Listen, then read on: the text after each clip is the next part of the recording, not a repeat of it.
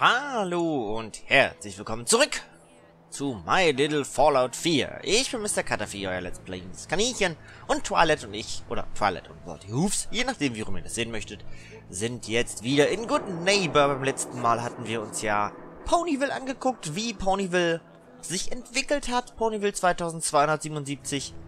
Und jetzt wird es wieder ein bisschen Zeit, uns der Story zu widmen.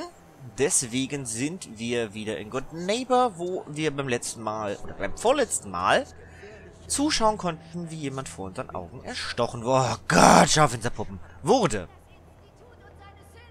Ganz genau. Wer hat das gesagt? Wie bitte? Da wird gerade, das ist glaube ich gerade Spaß. Oh Gott, ich verpasse Spaß. Ich verpasse Spaß. Twilight. Das ist Spaß. Ist der wahre Feind. Nicht die Raider, nicht die Supermutanten, nicht mal diese Penner drüben in Diamond City. Ich weiß nicht, Hancock. Ich würde McDonough schon gerne mal in den Arsch treten. Hey, ihr wisst alle, dass ich meinen ganz persönlichen Streit mit dem Idioten hab. Aber wir dürfen uns nicht ablenken lassen. Ich will, dass ihr alle das Institut im Hinterkopf behaltet. Passt auf, ob sich jemand plötzlich komisch verhält. Ob jemand Dinge tut, die er normalerweise nicht tut. Ob Verwandte euch plötzlich ohne Grund nicht mehr sehen wollen. Wir alle wissen, wer hinter dieser Art von Scheiße steckt. Und der einzige Weg, das zu verhindern, ist zusammenzuhalten. Sie können uns nicht kontrollieren, wenn wir keine Angst haben. Also, wer hat Angst vorm Institut? Wir nicht! Und mit welcher Stadt im Commonwealth sollte sich das Institut besser nicht anlegen? Good Neighbor! Und wer hat in Good Neighbor das Sagen? Hancock! Für das Volk, das Volk! Hancock weiß, was zu tun ist. Wie immer. Okay. Yay. Für Good Neighbor. Yay. Die Angst vor dem Institut ist riesig. Und ich weiß nicht... Gleich wieder da. Okay.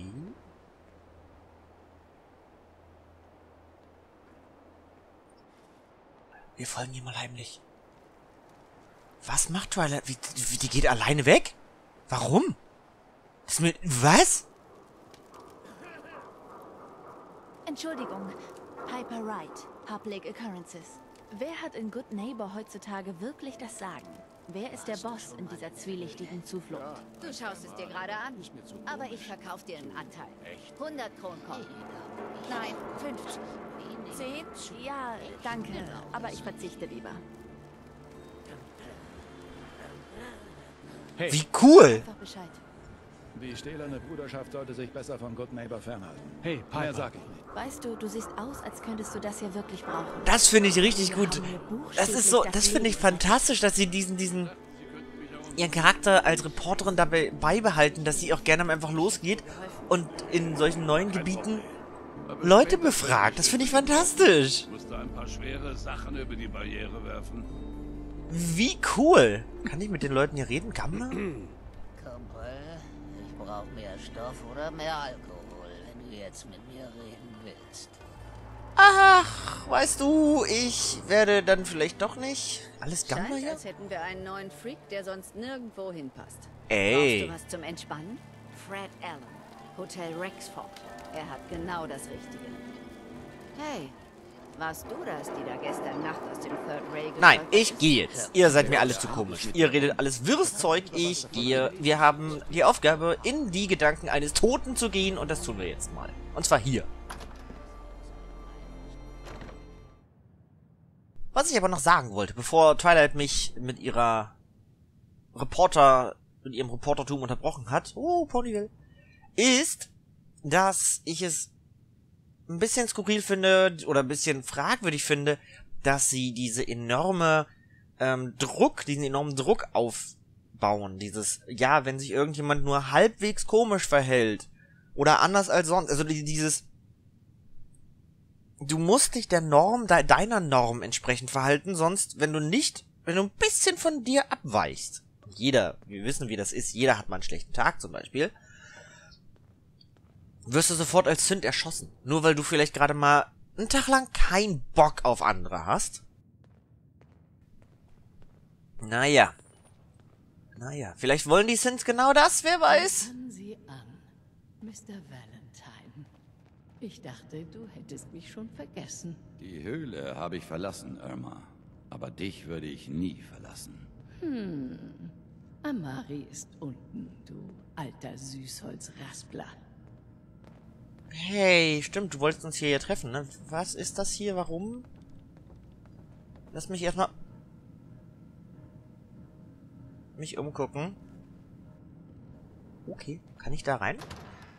Bam! Tür vom Kopf. Ich will nichts klauen, auf keinen Fall, aber ich will mich umgucken. Vielleicht sind hier irgendwelche wichtigen Dinge, die man äh, sehen, wissen, mitbekommen sollte. Alter, klauen würde sich aber echt lohnen. Aluminiumkanister, provisorische Batterien. Also hier ist richtig viel Stuff. Oh, du bist nicht Irma. Nein, wieso? Good Neighbor ist verrückt. Diebe, Mörder und Schlimmeres. Manchmal muss man der Realität entfliehen, um den Tag zu überstehen. Mhm. Entfliehen?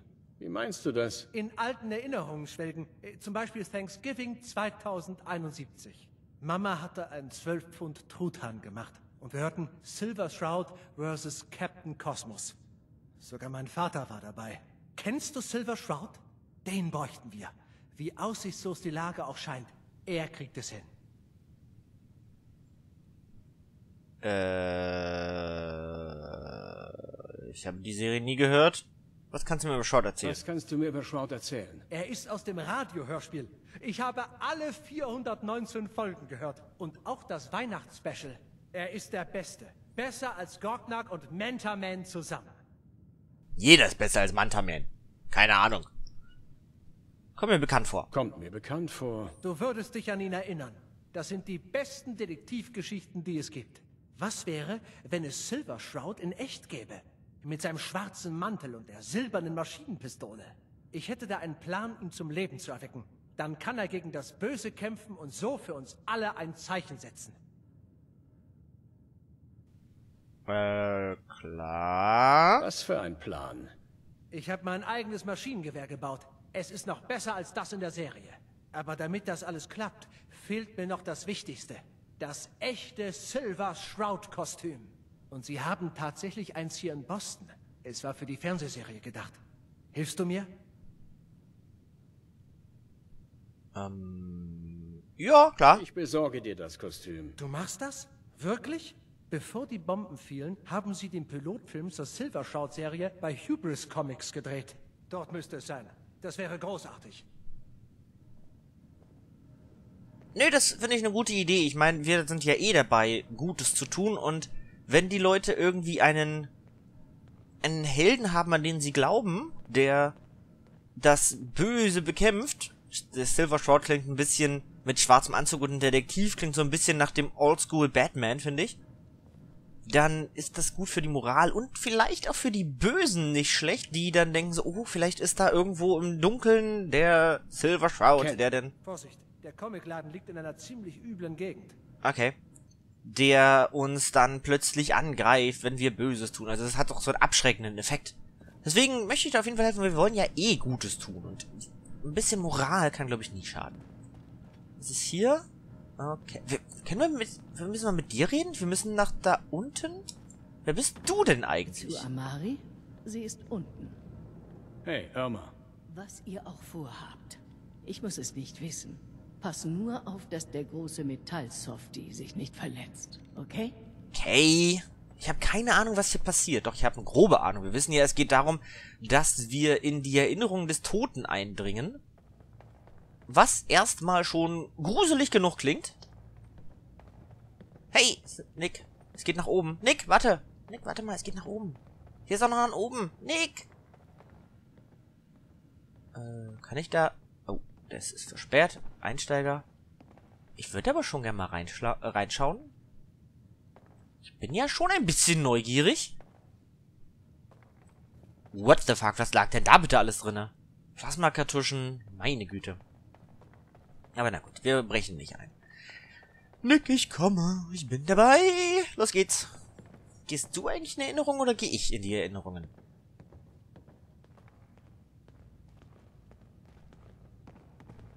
Dr. Amari? Ja, Warte mal. Wer bist du? Das ist wohl kein Höflichkeitsbesuch. Doch. Ähm.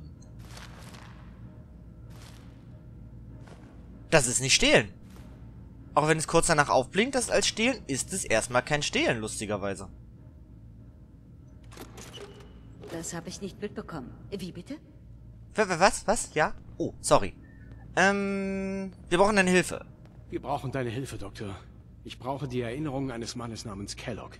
Doch er ist tot. Ich bitte dich gewiss um ein Wunder, Amari, aber du hast bereits Unmögliches geschafft. Seid ihr beide verrückt? Ja. Wenn wir mal außen vor lassen, dass ich eine Leiche schänden soll, ist dir klar, dass wir für die Simulatoren intakte, lebende Gehirne brauchen?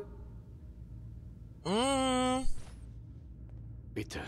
Nick meinte, du wärst die Einzige, die das schaffen könnte. Dieses tote Gehirn besitzt Infos über das Institut. Das größte wissenschaftliche Geheimnis des Commonwealth. Du brauchst es, wir brauchen es. Gut. Ich werde sehen, was ich tun kann. Versprechen kann ich aber nichts. Hast du es dabei? und wie viel Gehirn brauchst du denn? Wie viel von dem Gehirn brauchst du genau? Keine ermutigende Frage. Ich muss wohl mit dem zurechtkommen, was du finden kannst. Ich, meine, die, ich finde doch diese Formulierung ganz cool. Also die, die, diese, nicht Formulierung, die, die Intonation ganz cool. Wie viel von dem Gehirn brauchst du genau? Ja, bitte, bitte, bitte. Könntest du das wie Dr. Frankenstein sagen? Hol mir das Gehirn, Igor. Nein, kann ich nicht. Also, Schade. Hast du es? Sorry, sorry. ja, hier, Das bitte. hier konnte ich finden. Was ist das? Das ist kein Gehirn. Das ist... Warte mal. Das ist der Hippocampus. Und was hängt da dran? Ein Neuralinterface? Ah, Diese Schaltkreise kommen mir bekannt vor. Überrascht mich nicht. Soweit ich weiß, ist Institutstechnologie immer ähnlich aufgebaut. Ähm, wann kommt der schöne Teil? Wann kommt der schöne Teil? Wir schließen das Gehirnimplantat an Mr. Valentine an, wenn er die Risiken eingehen will. Warum nicht? In meinem Kopf ist noch genug Platz. Ähm, ähm, ähm. Nein, nein. Meinst du wirklich, das funktioniert, Nick? Keine Ahnung. Aber wir suchen nach einem verschwundenen Kind. Das ist das Risiko wert. Das Wenn stimmt. du bereit bist, Mr. Valentine, setz dich. Wenn ich plappere wie ein alter zahnloser Söldner, zieh mich raus, okay? Es geht los. Aber jetzt hat Nick immerhin mal ein echtes weiterreden, Mr. Valentine. Gehirn in Kleinste. Änderungen deiner Kognitivfunktionen könnten gravierend sein. Fühlst du dich irgendwie anders? Ich sehe viele Blitze, Rauschen. Das gibt alles keinen Sinn, Doc. Das hatte ich befürchtet. Die mnemonischen Eindrücke sind kodiert. Wie bitte? Ist wohl ein letzter Sicherheitsmechanismus des Instituts. Die Erinnerungen sind gesperrt. Okay. Und jetzt? Sag mir, dass du eine Lösung hast. Wird Nick es das überstehen? Erstmal das. Nick das überstehen? Ja, die Verbindungen scheinen stabil zu sein. Hoffentlich können wir das Implantat hinterher einfach abstöpseln. Das löst aber nicht unser Problem. Die Erinnerungsverschlüsselung ist zu stark für einen Geist. Aber was, wenn wir zwei benutzen? Wir setzen dich und Mr. Valentine auf die Memo-Sessel und schalten eure kognitiven Funktionen parallel. Er ist der Host und dein Bewusstsein durchforstet die Erinnerungen, die wir finden können. Und was ist, wenn wir es nicht tun oder wenn wir einfach drei Leute... Nein, okay. Ähm... Nick und ich in einem einzigen Geist. Okay, legen wir los. Okay, legen wir los. Setz dich dorthin und drück die Daumen. Ich hab keine... Ich hab keine Daumen. Ich kann keine Daumen drücken. Oh mein Gott. Was jetzt? Jetzt haben wir verloren. Uh, Munition. Jetzt haben wir gewonnen. Wir haben Munition gefunden. Ähm, Twilight? Twilight. Ich mag's, wie du da sitzt. Ähm, wir sehen uns später, Twilight. Oh, oh, oh. Verdammt nochmal, ja. Jawoll, Grogner der Barbar. Bitte. Hätte ich mir doch nur auch Lesestoff gewonnen. mitgenommen. Kriege mit Köpfchen. Du kannst gerne... Twilight, gerne, warte hier. Hey, Du du bist ja jetzt eh ein bisschen hier und musst warten. Äh, ich habe... Was haben wir denn? Wir hätten... Das ist ein Spiel, das kannst du... Warte mal, doch, ich kann das Spiel... Du hast keinen... Du hast keinen... Ähm, keinen... Pip-Boy dabei. Warte mal, wo haben wir denn... Ich habe doch Bücher. Ich habe die Rob Kofan, die kannst du gerne haben. Ich habe die hier, die kannst du gerne haben. Das kannst du gerne lesen, wenn du möchtest. Und den kannst du gerne lesen, falls du möchtest. Dann hast du ein bisschen was zu lesen, solange wir hier unterwegs sind. In den Erinnerungen von... Was gibt's denn zu tun? Dem Typen, von dem Toten. Und, äh, du kannst ja leider nicht mit, was ich ein bisschen schade finde. Warum auch immer, aber hier stehen halt einfach nur zwei von diesen Memo-Kapseln. Ab in die Erinnerung eines Toten in dem Kopf eines Roboters.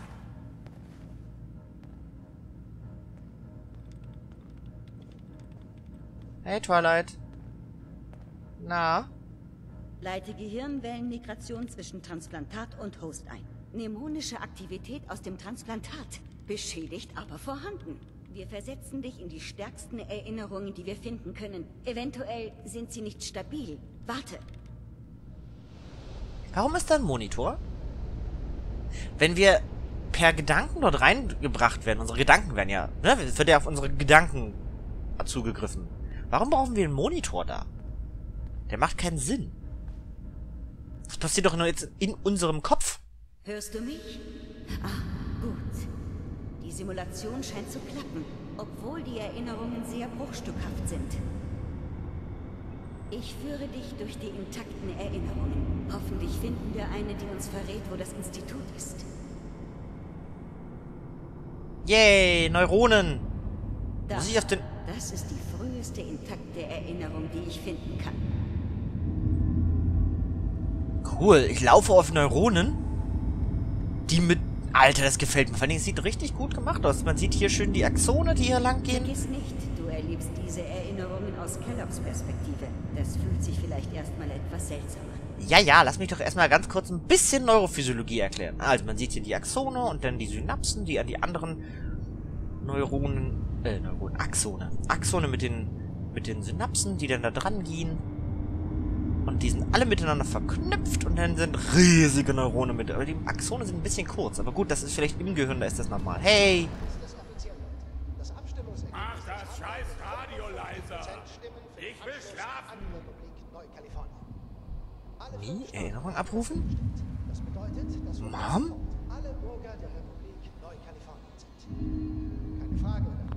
Ich war ja so naiv. Was wusste ich schon über die Welt? Ich glaube inzwischen, sie wollte, dass ich ihn umbringe. Ich hätte es tun sollen. Stattdessen lief ich davon.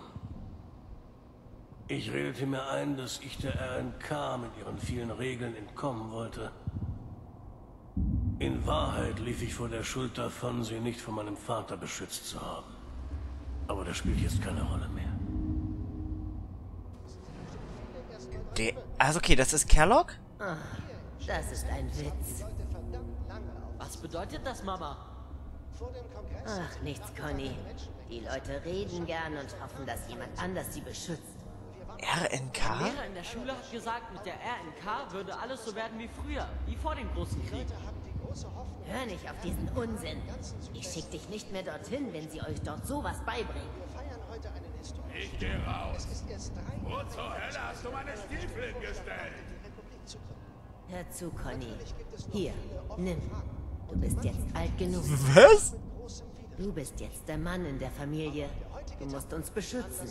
Dein Vater kannst du vergessen. Aber du wirst nicht so wie er. Du bist ein guter Junge. Und was du im Radio hörst, nichts als leeres Gewäsch. Das Einzige, was dich in dieser Welt beschützen wird, ist diese Waffe. Du musst lernen, damit umzugehen, wenn du überleben willst. Das werde ich, Mama. Versprochen. Du kannst dich auf mich verlassen. Du warst schon immer mein guter Junge. Diese Erinnerung hilft uns wohl nicht weiter.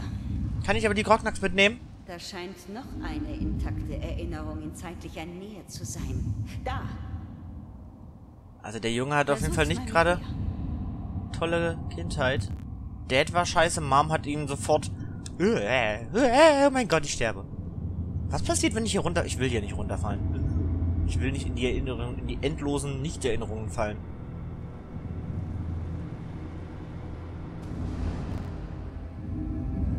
Sarah? Das Traurige am Glück ist, dass man es erst erkennt, wenn man es nicht mehr hat. Das Baby. Man denkt vielleicht, dass man glücklich ist. Aber es wirklich glauben? Nein. Stattdessen hat man nur Unwichtiges im Kopf. Den nächsten Job oder sonst irgendwas. Nur wer die Vergangenheit mit dem vergleicht, was danach der weiß, wie sich Glück wirklich anfühlt. Es wird alles gut gehen. Du wirst schon sehen. Aber wir kennen hier niemanden. Und jetzt mit der Kleinen? Komm schon, Sarah. Du musst uns eine Chance geben. Ich habe endlich eine feste Arbeit. Gut bezahlt ist sie auch. In der RNK gibt's sowas nicht. Ich, ich sag ja nicht, dass es ein Fehler war. Ich, ich sag nur... Bist du sicher, dass diese Leute wissen, was sie tun? Sie wirken weiß. ziemlich Aber da komme ja ich ins Spiel. Wart ab. In ein paar Jahren habe ich meine eigenen Leute. Sobald ich die richtigen Verbindungen habe. Dann bekommst du alles, was du willst. Und die kleine Mary auch. Ich mache mir zum ersten Mal Sorgen um dich. Bestimmt meine Mutterinstinkte. Wer hätte geahnt, dass ich überhaupt welche Ach komm, habe? du bist eine tolle Mutter. Und um mich brauchst du dir keine Sorgen zu machen. Ich bin bei den Ski für die Sicherheit zuständig. Da muss ich nur dumm rumstehen und böse gucken. Haben sie ja genau den richtigen ausgesucht. Hör zu, es wird bestimmt schön hier. Hier, damit werde ich dich und Mary beschützen. Na, die habe ich jetzt. Versprochen. Die Knarre hat jetzt Ich Twilight. weiß, Conny. Wir werden hier bestimmt sehr glücklich werden. Ja, das werden wir. Du wirst sehen.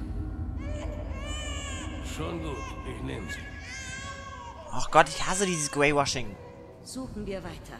Ich verbinde dich mit der nächsten intakten Erinnerung. Oh, ich hasse dieses Greywashing. Jetzt wird er dargestellt als, als der arme Junge aus der Vorstadt, der, der keine andere Wahl hatte und ähm, der aber trotzdem einfach nur Gutes wollte und hier ein Kind hatte und das alles schief gelaufen ist und hast du nicht gesehen. Oh, ich mag dieses Greywashing nicht. Da bin ich echt... Hund, Hund, Hund. Ich mag lieber wirklich plain böse Charaktere. Die finde ich viel toller als dieses Greywashing. Na gut. Was hattest du denn gedacht, wie das hier endet, Kellogg? Hast du gedacht, du könntest uns fröhlich in den Arsch ficken und wir würden einfach stillhalten? Na, na, nicht solche Worte. Hallo, hier gehören Nur, vielleicht Kinder zu. weißt. Sie sind krepiert wie Hunde. Und du hast sie allein gelassen.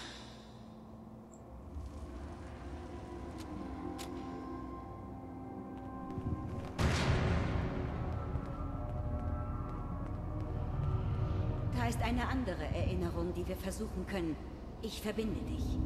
Dankeschön. Können wir bitte mal zu den Erinnerungen kommen, die mich wirklich interessieren und nicht zu seiner sehr traurigen Hintergrundgeschichte, die ich nicht wissen möchte? Ja, seine Familie, seine junge Familie ist getötet worden von anderen, deswegen wurde er böse. Der arme Bubel. Man muss ihn einfach nur fest genug knuddeln. Ah, ich habe ihn fest genug geknuddelt. Mit dem Gewehr ins Gesicht.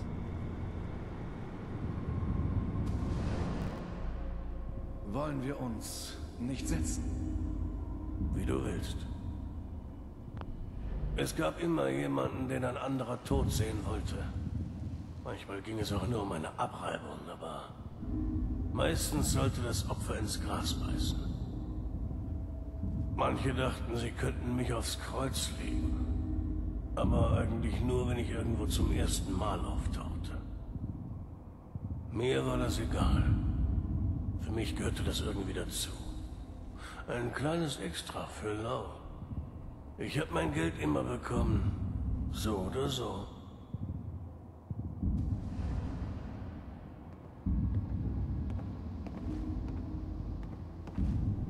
Also, hm.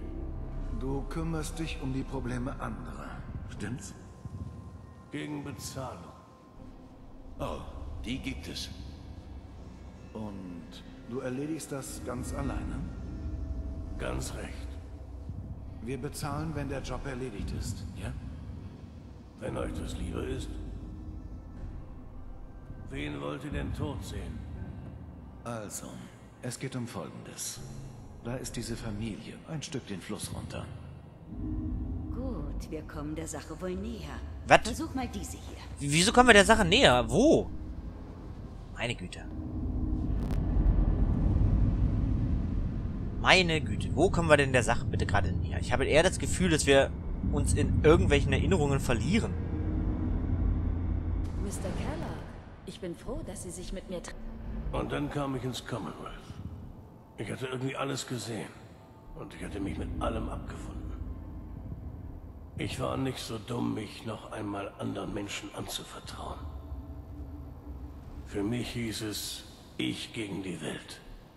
Und die Welt hatte es verdient. Sie arbeiten also für das Institut. Ich wollte mit eigenen Augen sehen, ob es sie wirklich gibt. Es gibt uns, wie Sie sehen können. Was willst du? Mir ist aufgefallen, dass Sie in letzter Zeit unsere Aktivitäten vermehrt gestört haben. Das muss aufhören. Ich tue, wofür mich die Leute bezahlen. Wenn sie ein Problem damit haben, gibt es nur eine Möglichkeit. Und die wäre, Mr. Kellogg? Wenn ich für sie arbeite, sind sie ihr Problem los. Und so wie ich das sehe, könnten sie mich problemlos bezahlen. Ich glaube, Sie haben Ihre Lage nicht ganz durchschaut. Ich denke schon. Also gut. B748. Offline.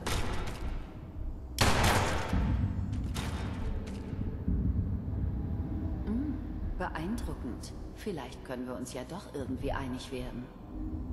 Wird schon wärmer. Eine davon verrät uns garantiert was. Okay, er ist beim Institut. Jetzt können wir dem wirklich... das Hirn aus. Ah. ah, die da sieht noch ziemlich intakt aus. Jetzt geht das Hirn aus. Ernsthaft. Wie eklig. Der Anzug oder dieser, dieser Kittel von dem Institut, der sah wirklich noch ordentlich sauber aus. Das ist ja das, was wir über das Institut auch vermuten, dass die einfach wirklich vernünftige... Manuelle Steuerung initiiert. Ach, guck mal, das kennen wir. Ich war nun der Hauptverantwortliche im Commonwealth. Wenn sie etwas brauchten, dann kamen sie zu mir. Es kam nur selten vor, dass jemand vom Institut bei einer Mission dabei war. Darum war diese besonders. Ich wusste nicht, wen wir aus dem Vault holen sollten. Und sie auch nicht, versteht sich. Jedenfalls nicht richtig.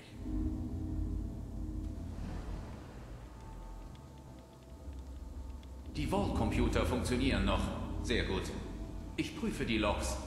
Es ist hoffentlich noch... Finde das Ding einfach. Kapsel C6. Den Gang lang. Am Ende.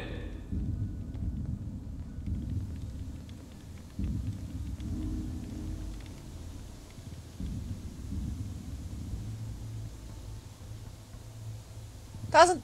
Nein, das sind das sollen wir sein. Wir haben die falsche Frisur. Darf ich mich kurz mal... Oder? Das ist er. Da. Da sind wir. Mach sie auf. Wie cool. Das sind wirklich wir. Die anderen haben alle aufgeweckt. Deswegen sind die alle gestorben, weil die alle aufgeweckt wurden. Ich bin froh, dass ich den Jungen nicht töten musste. Nicht, dass ich es noch nicht getan hätte, aber ich tue es nie gern. Und ja, er hat mich an Sie erinnert. Ich bin zwar ein kaltherziges Arschloch, aber immer noch ein Mensch. Pony. Aber es war besser so herum. Besser, als ihr das Kind zu rauben und sie dann am Leben zu lassen. Ist es vorbei? Schon da wusste ich, dass es ein Fehler war, ihn am Leben zu lassen. Ich verstand diese Form der Rache besser als jeder andere. Aber ich war so eingebildet, dass ich dachte, ich würde mit einem verweichlichten Vault-Bewohner schon fertig werden, falls er aufgetaut würde. Wenigstens weiß ich, dass auch diese Institutsarschlöcher bald rausfinden werden, was ihnen blöd. Mhm. Wenn Er weiß- er mich ausschalten konnte, werden sie sich nicht lange für ihn verkriechen können. Wow. Der Typ ist echt gut. Okay. Ich habe nie begriffen, warum wir die anderen nicht einfach wieder eingefroren haben. Aber wir hatten unsere Befehle. Der alte Mann wollte wohl nicht so viele ungelöste Probleme. Mhm. Zu dumm, dass er die eine Person am Leben ließ, die er hätte töten sollen. Oh, uns! Fast. Alles wird gut. Komm her. Nein, Komm her, Baby. Ich nehme ihn. Lassen Sie den Jungen los. Ich sage Ihnen das nur einmal. Krieg mein Charlie. Verdammt. Hol den Jungen da raus und dann verschwinden wir. Immerhin haben wir noch einen Ersatz. Kälteschlafsequenz eingeleitet. Die waren halt wirklich geplant als Ersatz, ne? Das ist ganz lustig. Was dauert da so lange? Ich bin fast fertig, Kellogg. Ich muss nur prüfen. Okay. Alles in Wofür? Ordnung. Ich, äh, tut mir leid, dass du das nochmal durchmachen musstest. Ja, naja. Hier ist noch eine intakte Wofür, Erinnerung. wofür Siehst waren wir der Ersatz? Also, ich meine, das ist ein Kind, ein kleines Kind und wir sind der Ersatz? Ich wusste gar nicht, dass ich wirklich zu allem was bekommen kann an Informationen. Hier macht es aber das erste Mal wirklich Sinn. Oh, Ist das dein Sohn? Diese Erinnerung scheint noch ziemlich frisch zu sein. Ist doch gut. Ja, äh, frisch. Jetzt hat Piper es aber wirklich geschafft. Piper. Geschafft. Ich meine, das heißt nicht. Die ganze Sache in Diamond City war Teil eines ausgeklügelten Plans des alten Mannes. Jetzt ist klar, dass wir für unseren Freund aus dem Vault als Köder herhalten sollten. Das Timing konnte kein Zufall sein. So arbeitet der alte Mann nicht. Ob er mich am Schluss wohl überlistet hat? Noch ein ungelöstes Problem weniger. Es war nicht meine Idee, mich mit dem Jungen mitten in Diamond City niederzulassen. Ich hielt das sogar für eine Scheißidee. Aber es war eines der Lieblingsprojekte des alten Mannes. Also blieben wir dort. Ich und das Kind. Wie eine glückliche kleine Familie. Und irgendwie gefiel es mir sogar. Es erinnerte mich daran, wie mein Leben hätte sein können, wenn alles anders gekommen wäre. Aber es führt keinen Weg zurück. Mir war klar, dass es nur auf Zeit war. Früher oder später wäre alles wieder beim Alten. Das Gute ist, dass Sean dementsprechend das wenigstens halbwegs gut hatte. Kellogg. Die neuen Sins könnten problemlos als Menschen durchgehen. Und manchen ist das auch gelungen. Aber die Runner wurden so gebaut, dass sie nicht erkannt werden. Sie waren Tötungsmaschinen. Schnörkellos und einfach. Klüger, stärker und schneller als fast jeder Mensch. Pony. Zum Glück waren sie immer auf meiner Seite. Schon gut. Irgendwann wird dir nochmal der Kopf weggepustet, wenn du immer so reinplatzt. Die Zivilisten sollten mich möglichst nicht sehen. Ich habe nichts gesagt. Also, wo liegt diesmal das Problem? Es gibt einen neuen Auftrag für dich. Einer unserer Wissenschaftler hat das Institut verlassen. Verlassen? Er ist abgehauen. Sein Name ist Dr. Brian Virgil. Er versteckt sich irgendwo im leuchtenden Meer. Hier ist seine Akte. Wow, da werden wohl ein paar Köpfe rollen. Gefangen nehmen und zurückbringen oder einfach eliminieren? Eliminieren. Er arbeitete an einem streng geheimen Projekt. Im Ernst? Einer der Top-Biowissenschaftler? Scheiße. Dann nimmst du den Jungen wohl mit dir zurück. Korrekt. Du hast jetzt nur die Aufgabe, Virgil zu finden und auszuschalten. Bringen Sie mich nach Hause zu meinem Vater? Ja, stell dich neben mich und beweg dich nicht. Okay.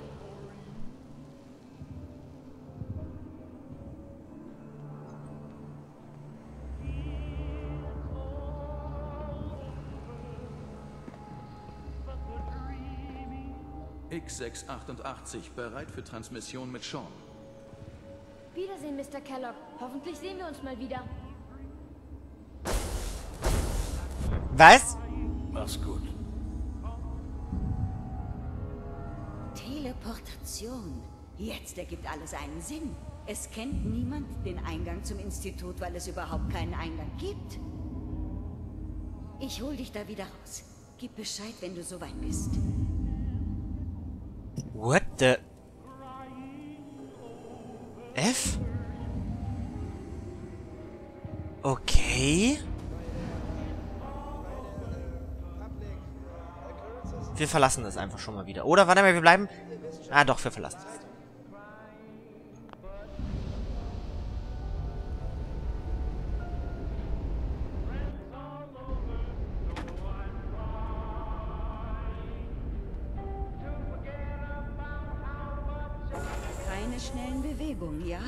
Keine Ahnung, welche Nebenwirkungen die Prozedur hat. Sowas hat noch nie jemand gemacht. Wie fühlst du dich? Bescheiden. Bin ich gesund? Siehst du etwas äh, Schlechtes? Nein, aber ehrlich gesagt weiß ich auch nicht, wonach ich suche. Wie gesagt, das ist alles Neuland. Aber deine neurologischen und physiologischen Werte sind wieder ganz normal. Medizinisch gesehen bist du gesund. Kannst du schon über das reden, was da drinnen passiert ist? Nein. Du warst doch dabei. Du warst doch auch dabei, oder? Du hast gesehen, was ich gesehen habe. Ja, aber wir müssen alles gemeinsam durchgehen. Falls einer von uns etwas übersehen hat. Okay. Okay. Also es gibt mehrere Dinge. Zum einen, der Mann hat der Familie ruiniert und ich habe ihn getötet. Das ist mir wurscht. Ähm, Virgil, das könnte ganz interessant sein. Ist die Frage, ob er ihn über, über, wenn er ihn wirklich getötet hat. Und ähm, das mit dem mit der Teleportation. Ha. Und Sean Alles ist auf jeden Ordnung? Fall noch am Leben. Ja, es ist noch alles in Ordnung, aber das gucken wir uns beim nächsten Mal an. Ich hoffe, es hat euch gefallen. Vielen Dank fürs Zuschauen. Euer Kaninchen. Tschüss. tschüss. Hat dir das Video gefallen und du willst mehr sehen? Werde ein Aboninchen. Bist du schon eines? So lass doch eine Pfote nach oben da. Danke.